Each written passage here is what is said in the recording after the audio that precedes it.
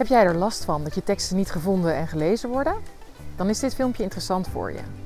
Ik ga je namelijk vertellen wat schrijven vanuit mijn hart mij brengt.